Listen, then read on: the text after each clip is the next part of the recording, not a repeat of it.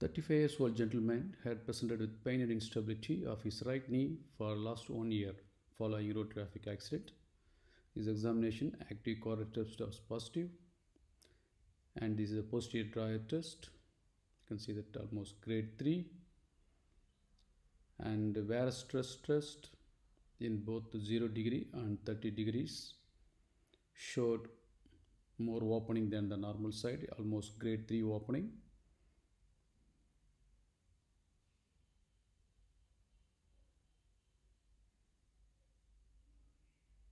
there's a dial test positive opening in the varus stress x-ray on the lateral side on the posterior drawer stress test x-ray and MRI showed mid-substance of tear of PCL and the posterolateral corner injury.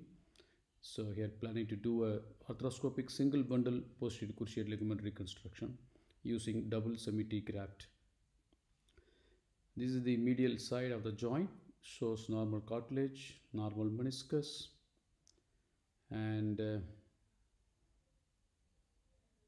the opening is minimal. So now there is no medial sided injury, small cartilage cuffing. Coming to the lateral compartment, you can see this the scope easily swipe through. There's a swipe through sign. You can see the gap between the meniscus and tibial bone and uh, meniscus and femoral bone. This huge opening, popliteus tendon is absent, indicative popliteus tear also along with uh, LCL. Coming to the intercondylar notch, you can see the sag sign of ACL because of PCL insufficiency. Once you pull up the tibia forward, you can see that ACL is getting tense and taut. That means this patient is having complete posterior cruciate ligament insufficiency. That is the remaining fibers of posterior cruciate ligament. By using shaver on the medial portal and my scope is an anterolateral portal as you see in the outside view and I'm trying to go between the anterior cruciate ligament and the posterior cruciate ligament and removing the all the fat pad going all the way to remove the captum to reach the posteromedial compartment.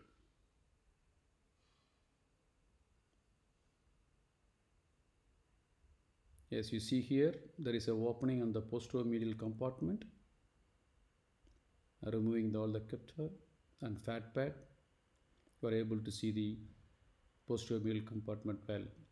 Another way of reaching posteromedial compartment between posterior cruciate ligament and your medial compartment, medial tibia. As you, that, as you can see here, the scope sli easily slides on between the PCL and the medial compartment.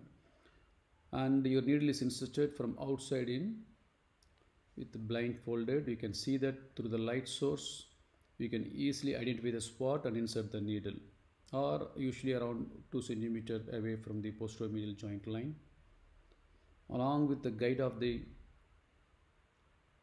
pin you can use a 11 mm pin make a small stab incision insert the switching rod and 6 mm cannula is inserted so that it is easy when you exchange the scope between posteromedial portal and anterolateral portal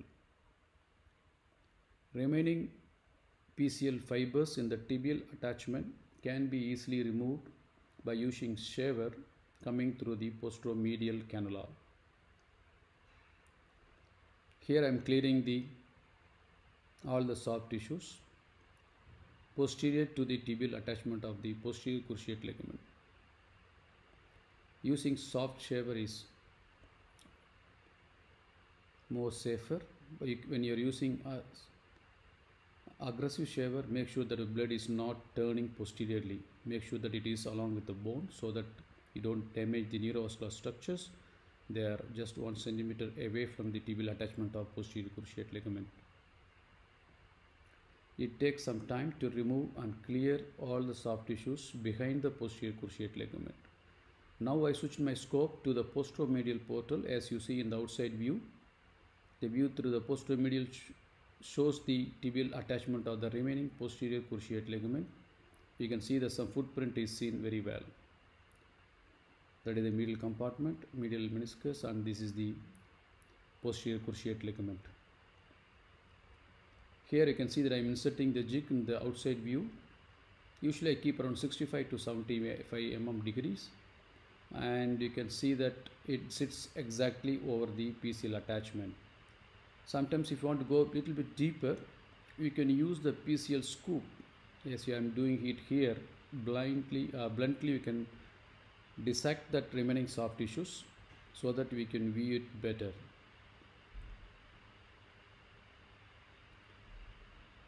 Once you clear all the soft tissues distal to the attachment of the posterior cruciate ligament. As you see here, I am reinserting my jig through the anteromedial portal. The jig can be in the center of the footprint or slightly lateral to the footprint so that you don't medialize too much of your tibial attachment of posterior cruciate ligament.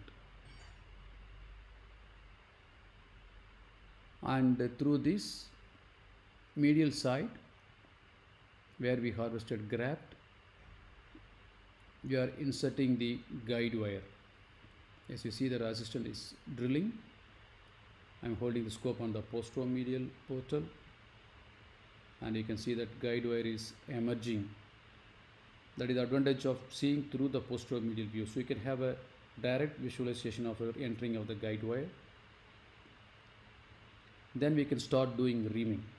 Here we measure around 10 mm size of the graft so I'm going to start with 8 mm reamer first then gradually increase to 10 mm so here we are using 8 mm reamer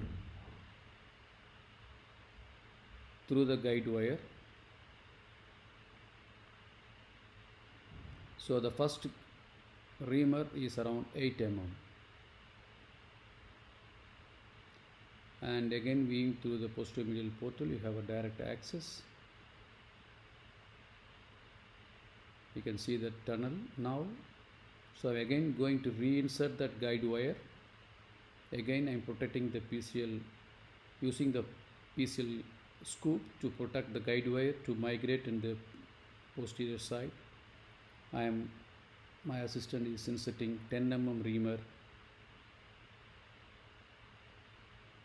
through the guide pin. Then you use the shaver through the same tunnel to clear the fat pad at the exit point of the tibial tunnel in the posterior tibia. So tibial tunnel was made.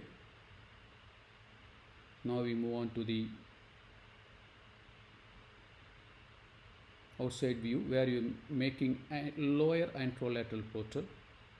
So here I'm planning to do an inside out tunnel for the femoral side.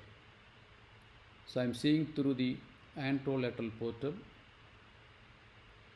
and clearing all the soft tissues around the PCL and you can use the van to mark out the anteromedial bundle because here we are planning to do a single bundle PCL reconstruction. So I'm going to mark it out with this. Van helps you to plan your anteromedial bundle in the PCL incision of femoral side. As you see here, so you have to come from the top, uh, from almost 12 o'clock position. So you may here we are planning to put a 10 mm graft. So I'm removing and making the footprint area for the anteromedial incision of guide wire, incision of the guide wire. Here I'm seeing through the anterolateral portal by using lower anterolateral portal I am using a 7 mm reamer to keep over the planned footprint for the anteromedial bundle. Through the reamer I am inserting the guide wire. It also acts as a fulcrum for your guide wire to enter into the femoral side.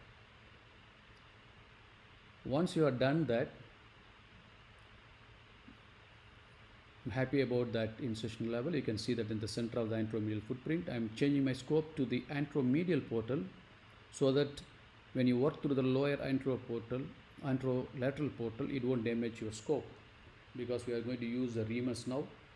Here I'm using a 4.5 reamer to use the suspensory fixation whether you can use a fixed loop or an adjustable loop here I'm planning to do an adjustable loop tight rope from Arthrex this 4.5 mm drill has also has got a measurement so that you can measure the total tunnel length. Once you are done that 4.5 then you change into the reamer. Reamer as I said here it's 10 mm reamer.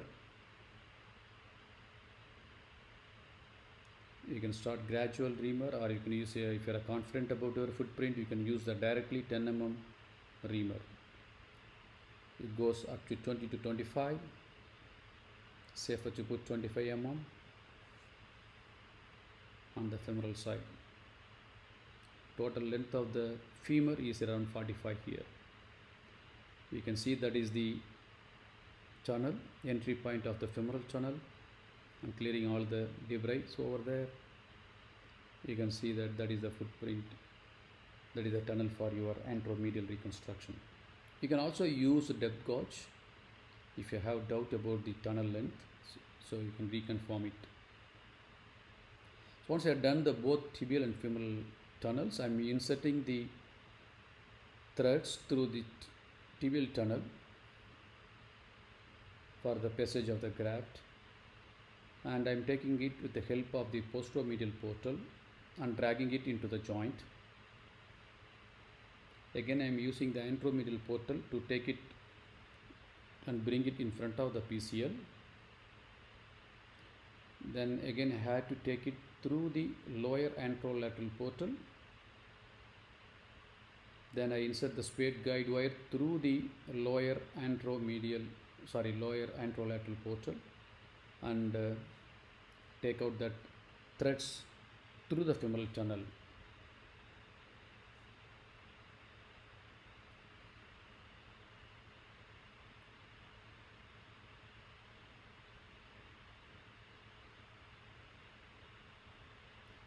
Here I am using the rounded Steinmann pin rod to avoid the killer turn in the posterior tibial side.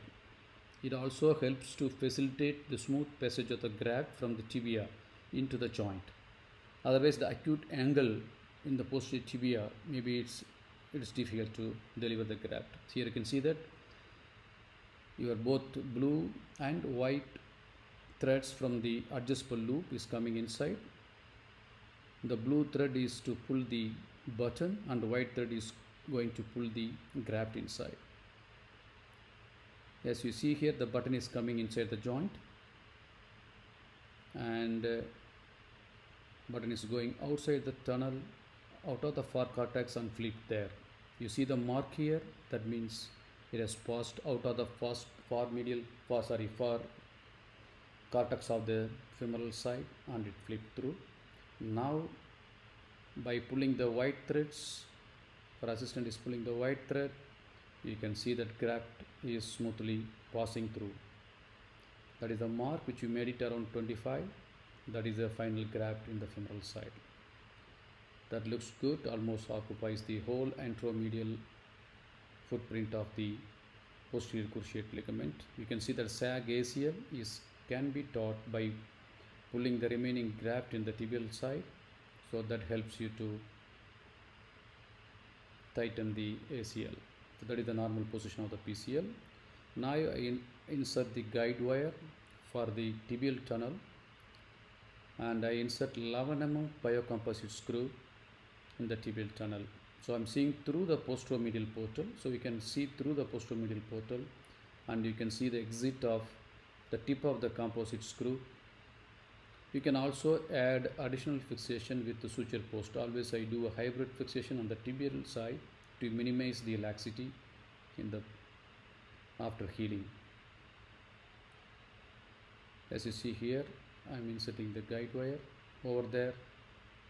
I mean, with the guide wire, I'm inserting the screw over there. It was done almost. And you can see that final tibial side. And also you can see the arthroscopic view of the final taut ACL.